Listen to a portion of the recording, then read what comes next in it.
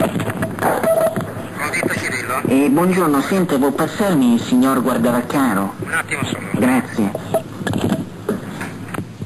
Nicola? Mi prendi in bocca stacciola? Sì, la verità, aspetta, non ti posso rispondere che sta madonna. Io ti spaccherei il culo a metà. Figlio di imbraccata, lurida, sporcaccione, un po' culo rosso.